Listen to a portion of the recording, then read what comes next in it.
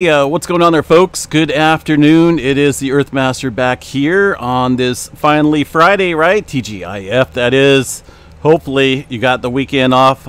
If not, maybe take the day off anyway. We're a couple days. So, we, we got a 4.3 earthquake coming into the area north of Idaho Falls. Now, this is uh, just off of this fault system called the Red Rock Fault, uh, Sheep Creeks section. This area has been showing a little bit of seismic activity here recently. By the way, I've seen this show up here on the Yellowstone uh, seismograph stations down here. Notice that little uh, reading right here. It was picked up there in Yellowstone as well. Um, the magnitudes are getting on the larger size compared to the past couple weeks here where we've been seeing some twos and threes along this fault system. There's many different faults that are leading up here towards the Yellowstone area. Uh, this 4.3, 10 kilometers deep near Lima, Lima or Lima, Montana. It has been reviewed. Not for sure the population density density out here. It doesn't look like it's next to any major towns. We got one person reporting just some light earthquake activity, although it's definitely a legit earthquake, that's for sure. Uh, I do want to take a look at historical data back here and see what we have specifically around this region. This could be uh, a good indicator here of some regional stress transferring over towards the Yellowstone area. Now, the Hebgen Lake region has seen quite a bit of earthquake activity in the past and some rather large earthquakes as well. But we're going to go ahead and check out this real quick through the USGS model and uh, search the earthquake catalog book here. What we're going to do is start with 4.5 and above.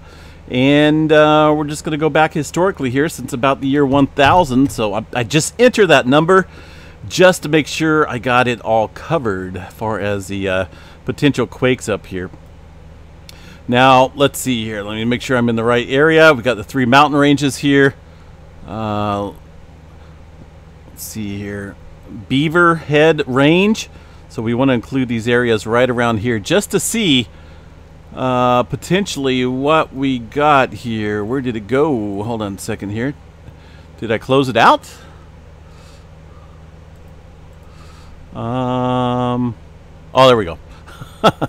it's hot. It's 100 and, uh, 104, but feels like 110 around here. That's the uh, local weather here at my house outside of Chico. So I don't want to include all of Yellowstone because we know Yellowstone does have some earthquake activity, specifically there around the caldera. But I want to look at plate tectonic motion here across this area of the Beaverhead Range. And then there's another mountain range here just to the east where this four pointer struck on. So we're going to make sure that that is covered, which it is. And uh, we're just going to see what's going on out here. Take a look at the historical data. Four point, uh, what did I pull up? 4.5 and above. All right. Um, it looks as though this area did see some activity here a couple years or so ago. Uh, 4.6 back in 2019. Now, roughly uh, within the same area as today's earthquake, we did have a 5.1 1965 and a 5.1 1999. So it looks like earthquake activity out here um, occurs at a regular interval between 30 or around 25, 30 years or so. This earthquake, uh, 4.6. But it goes to show you that we can see some larger earthquakes there, at least above the 4.5 level that we're seeing today right? That was or 4.3, excuse me. That was a 4.3 that we seen uh, just coming in uh, to the area. But a little bit further up north here, these earthquakes start to get a little bit bigger. And that's what I'm saying here, that a lot of this movement is uh, plate tectonic action here. It's well away from, obviously, well away from the plate boundary. Um, and Yellowstone over here, the plumbing system, all that stuff is underneath this area and it extends a little bit further in certain regions. But this is due to uh, plate tectonic stress here between the North American uh, plate and uh, technically up against the old Craton region. That's this landmass right here that you see that creates the plains, relatively flat areas that uh, has not been moved, basically been fairly stable for the last couple million years uh, right up against that area. So uh, a lot of this can be pinpointing towards some uh, larger potential movement here. Looks like within the area, 1897 was a lot the last 6.4 area um, right here on the map, at least the last larger one. Now, Hebgen Lake uh, did see a large one over here back in. Um, well, where'd it go? It looks like maybe they took it off. There was a much bigger one back in. Um, oh, it's a while back here. I may have to scoot this over just a tad bit. Uh, but as you can see here on the map, things are a little on the uh, active side here for the Idaho area. Now back over here across the uh, Sawtooth fault system, I believe that is. There's the Sawtooth. Okay, so this fault system right here, I'm not for sure what the, this one is. It looks like...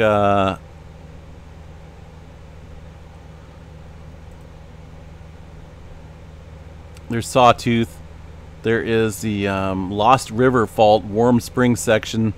A couple other fault ranges that go through these mountain ranges here. You can see them forming, right? So those are plate uh, or uh, fault boundaries, fault systems here, all leading up uh, towards this general area where we can see some larger earthquake activity. Now let me redefine the um, search list here real quick because I want to show you the Hebgen Lake area. I can see um, some pretty large earthquake activity.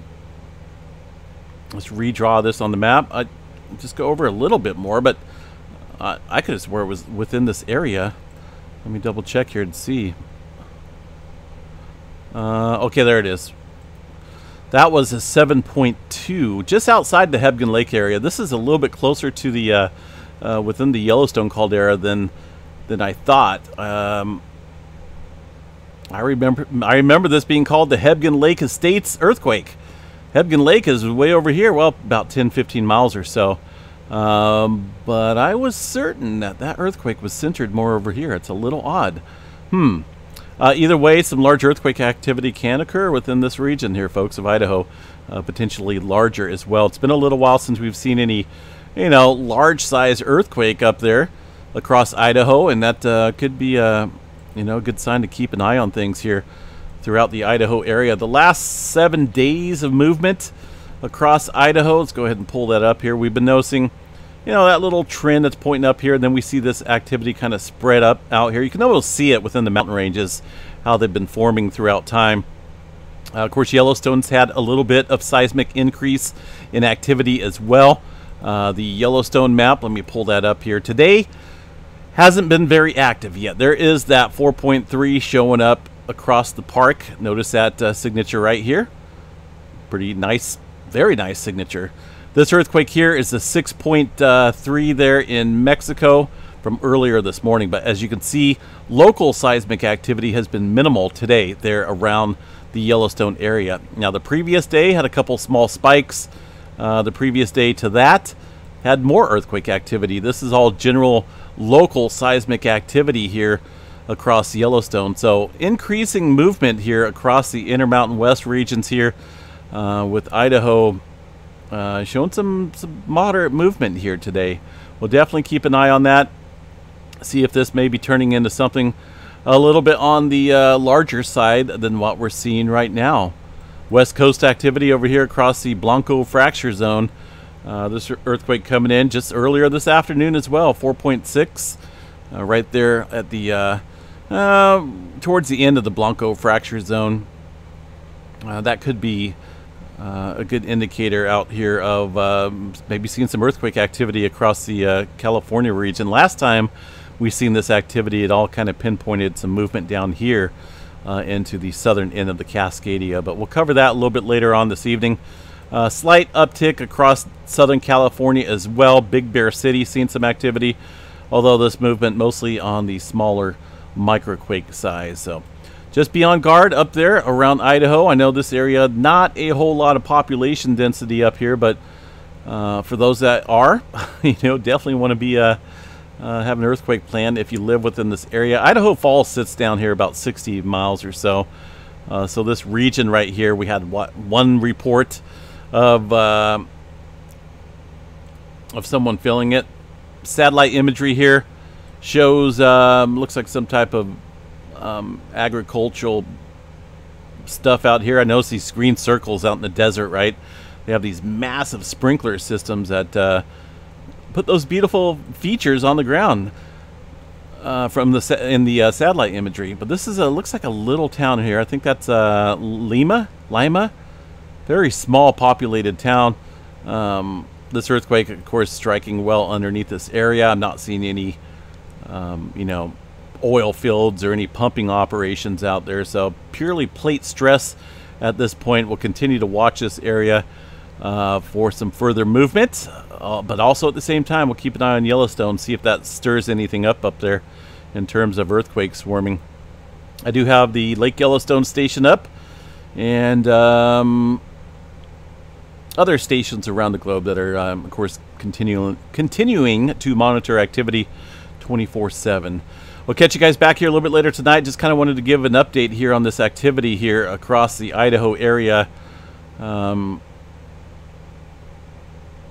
you know, it's a little bit bigger than uh, what we've been seeing here for the past couple weeks. So that could be, as I mentioned again, it could be pointing to something, um, you know, above this magnitude. Looks like they just downgraded it to a 4.2 USGS. There you go. We'll catch you guys back here later tonight. Have a good one, folks. Stay cool.